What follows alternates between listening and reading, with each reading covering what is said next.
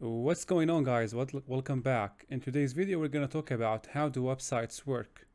We're going to go over all of the inner workings of how you access specific sites, how all of this works, and we're going to go over specific popular programming languages uh, used to create websites, and we're going to take some simulations to understand how all of this works.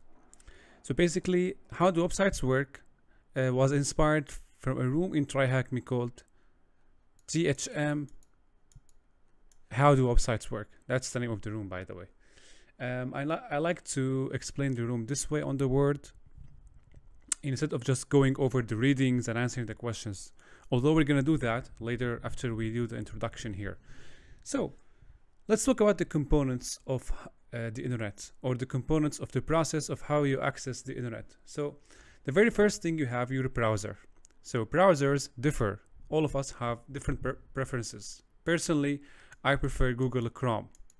Some people prefer, um, say, Safari, right, for iOS users. And also we have Mozilla Firefox. Imagine that some people prefer using Edge, Microsoft Edge, to access the internet. So the very first component you need is the browser. So it depends on your preferences. So the browser actually makes a request to the web server, right? So your browser asks the web server to display a page. So the web server could be any server on the internet that hosts a specific website requests. Say you are browsing to Reddit, reddit.com, right? So reddit.com is a website that is hosted on a web server. Now the web server could be anything, and that's very technical by the way. Could be Apache, could be run on Apache, could be run on um, Nginx, could be run on uh, IIS in case you're using Windows, right? And there are many other softwares that run web servers. So reddit.com could be hosted on any one of these uh, softwares to run as a web server. So basically when you want to browse to reddit.com or you want to open reddit.com, you make a request to the web server. Okay, so it goes like that. Of course, in order to make the request from your browser to the web server, you need the internet. So without internet access, you cannot access, you cannot make any request to any web server whatsoever. Now, we call that, uh, most of the time, it's called Hey HTTP requests. Okay? HTTP requests And that's P. So HTTP request. Now, the web server will respond with something called Hey HTTP response. Right? So here we call it Hey HTTP response and that's how you access reddit.com and any other website so basically when web server returns the page or response with a http response you actually see the page of reddit.com so you'll be able to see the reddit.com page in your browser reddit that's basically how it works now there are two major components of how uh, websites actually is constituted or composed. So the very first, in every, in every web server, we have two components. We have, uh, let's use a different color. So we have the client side, all right, client side, and we have another side called the server side or the back end. So you often hear terms, if you are a web developer, you hear often terms such as front end, right? And you often hear back end. In job listings, you may see uh, job listings that asks for front end developer or back end developer. So front end developer or the front end or the client side is actually the side that your browser handles. So when the page is displayed, such as reddit.com on your browser, it's actually displayed on the on the client side. So the client side is the browser basically the way your website renders, the way the browser renders the website. Now the back end is the server side. It is the server side here. That's the back end. Now the back end is actually handled by the server and could be any server that processes your request and returns a response. So the server side processes our HTTP requests and returns the HTTP response. The client side is responsible for rendering the page or displaying the page once the HTTP response is received. And by the way, it's worth mentioning that when the page is displayed, most of the time, the HTTP response code is 200. Now, HTTP response codes are too many. You can Google them on the internet. But when you are able to access a page, it means that the HTTP response is 200. If the page is not found or is deleted from the server, most likely it is the code will be 404. So when you ask for reddit.com, for example, and the web server returns 404, it means the web server is telling you, I don't have the page anymore. All right, so that's basically how it works in brief. Now let's talk about popular programming languages. So what are the programming languages that make up a website? So the very first we have, it's very popular and most of you know it, it's the Hey HTML. Now HTML actually uh, used to build websites and define the structures. It's called the Hypertext Markup Language. It's all all of the websites are written in HTML, and HTML actually is composed of we call it the tags. HTML tags or HTML elements. Now they are the, these are the tags or the elements are kind of building blocks of the HTML pages.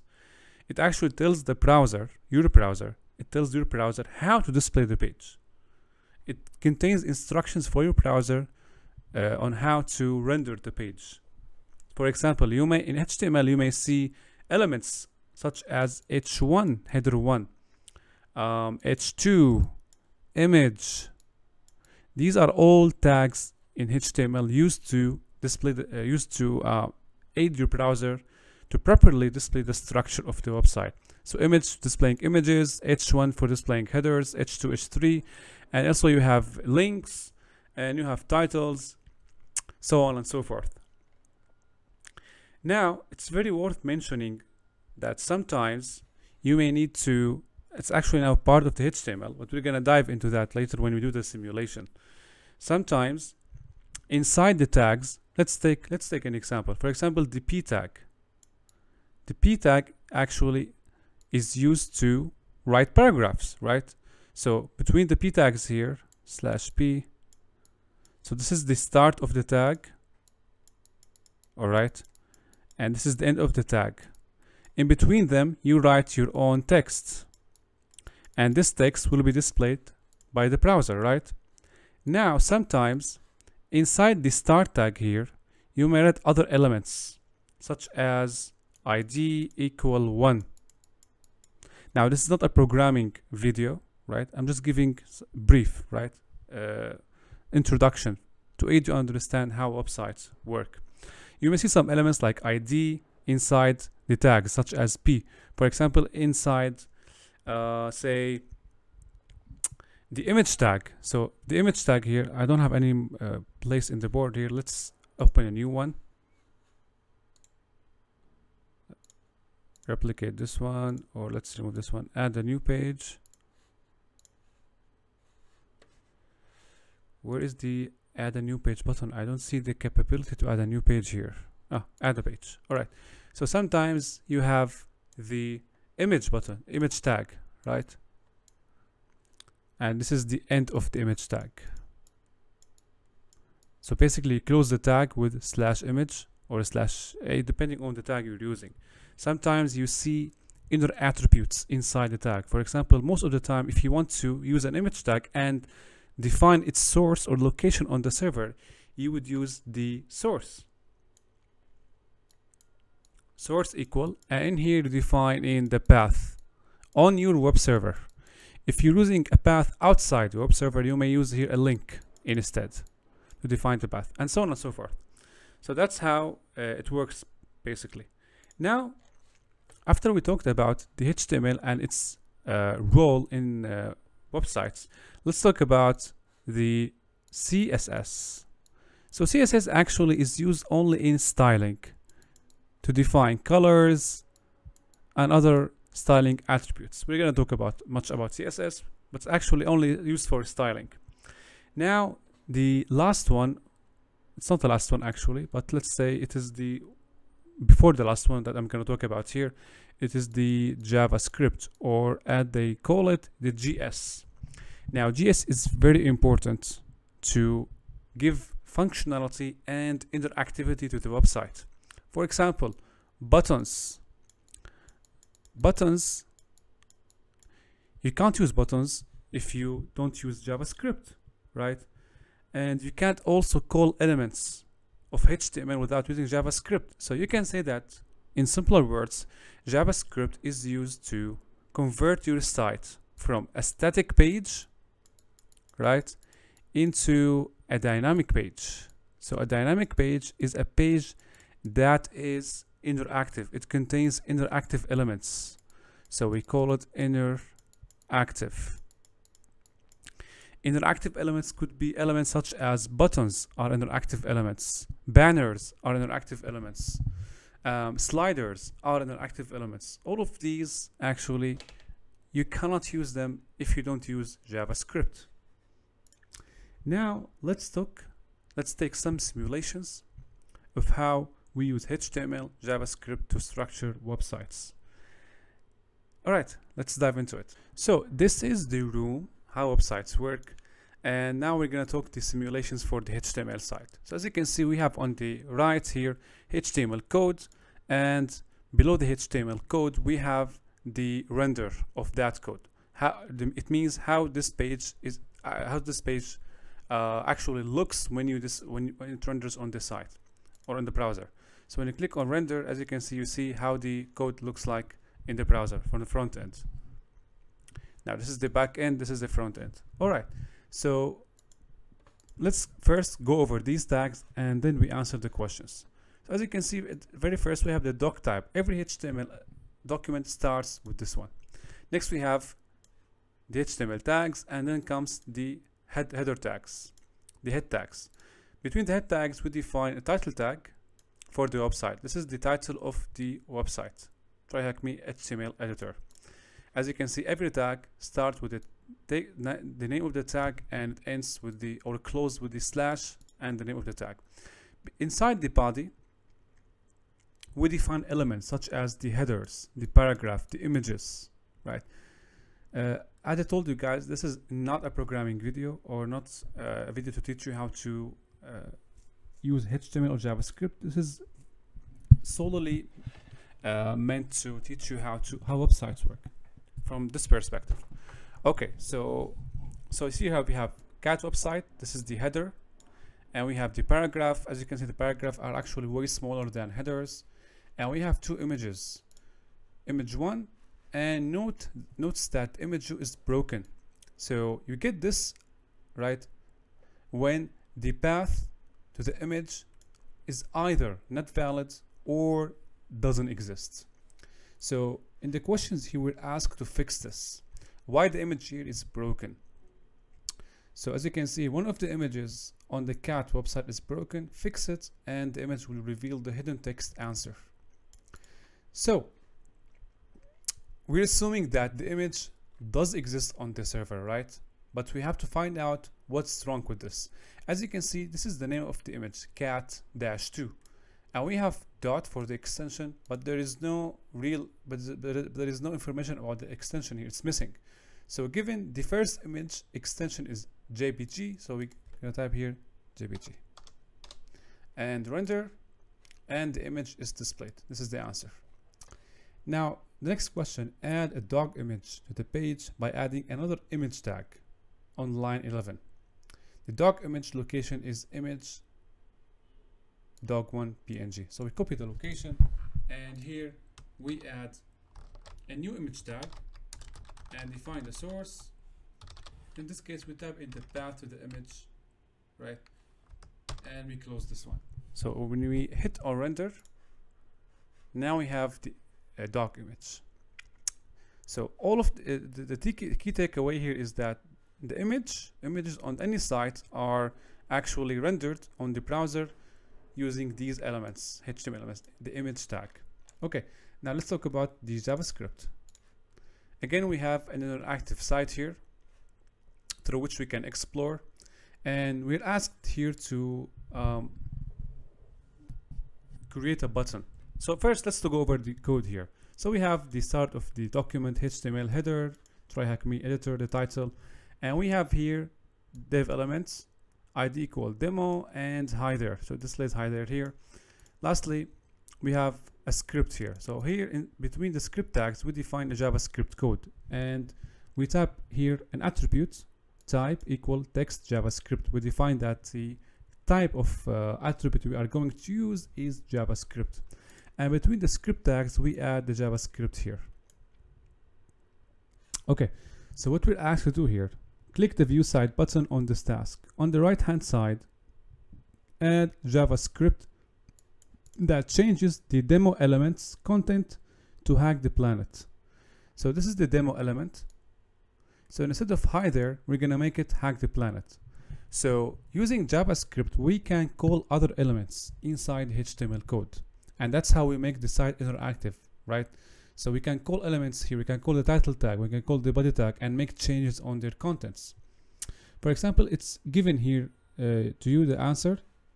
This is the button element, you can take it and paste it here. All right, so the button, this is not the button actually, I don't, I don't need to, no, this is wrong, not this one. So this one here. So I'm gonna explain how this works. So document.get element by ID.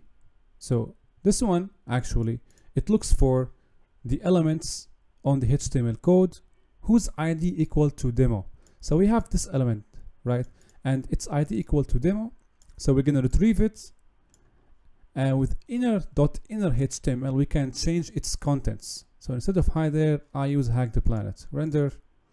And as you can see, hack the planet now has changed without the need to change the uh, content, the, the contents directly from here.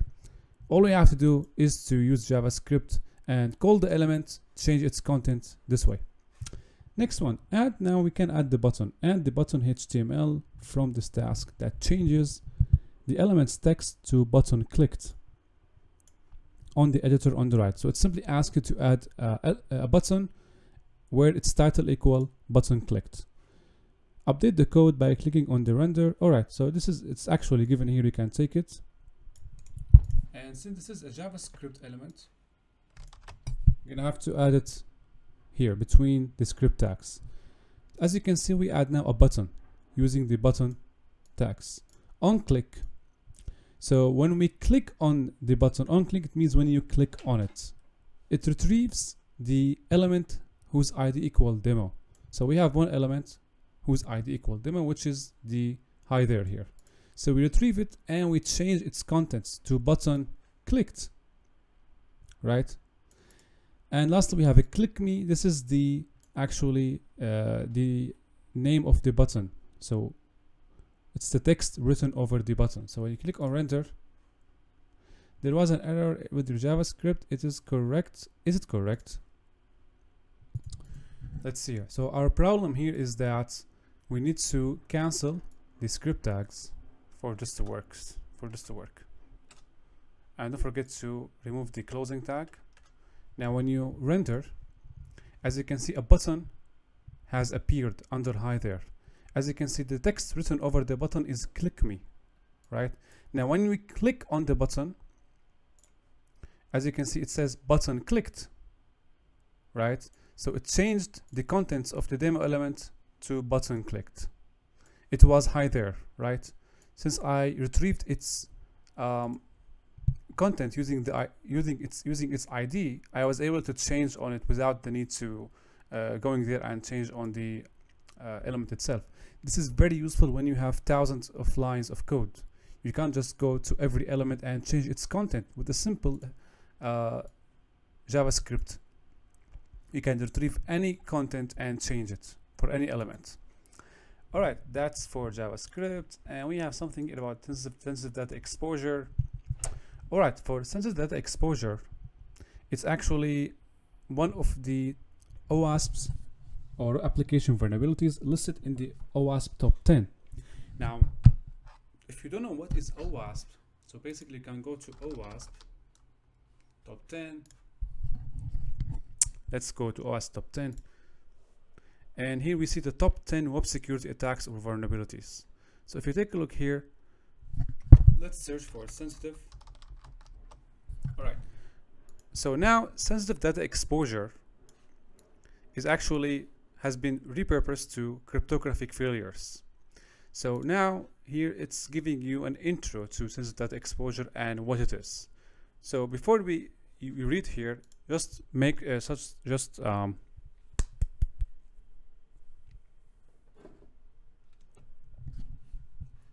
just bear in mind that since that exposure is one of the OWASP top 10 application vulnerabilities.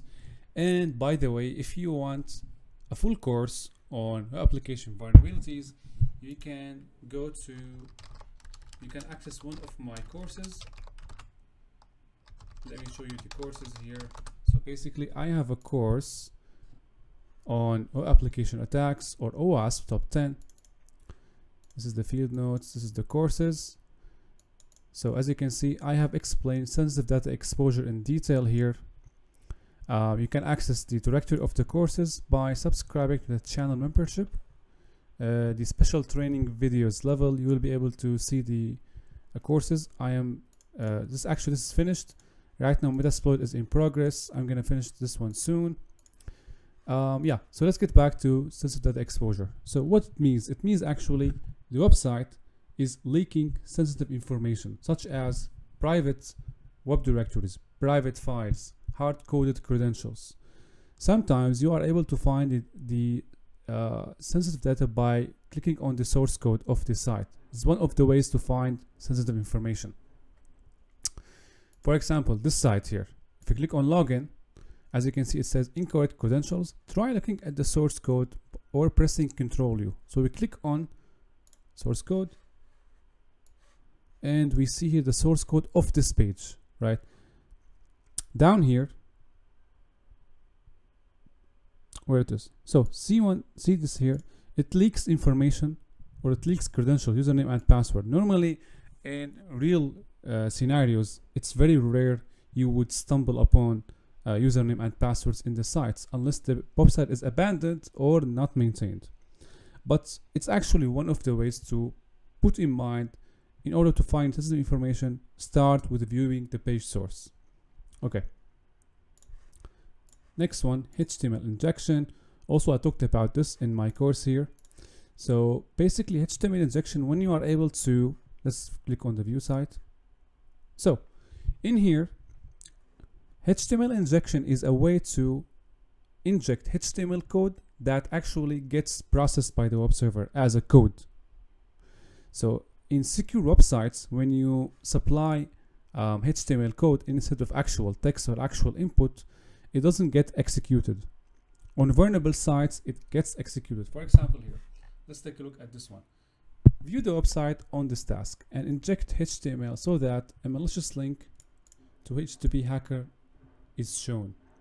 Let's copy that. Now, in order to show the link in here, we have to use the A element or they call it the A tag.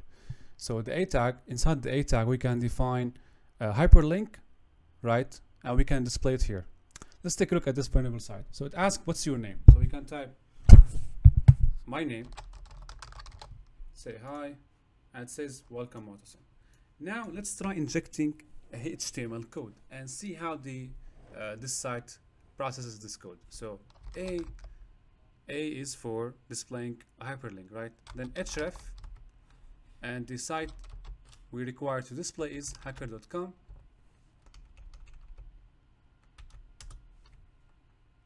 We close the tag and then in here you want to type the hyperlink or the text that will appear uh, on uh, as a hyperlink. So we type, for example, click me, and then we close the A tag.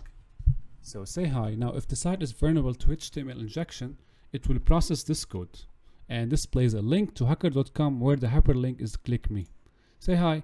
As you can see, hi, click me now has appeared as a hyperlink. When you click on click me now, it's going to take you to hacker.com. Click on that. Uh, yeah, because it's a demo site. So uh, that was for today's video, guys. If you like that, hit subscribe hit like whatever you want. And we will definitely see you in the next video.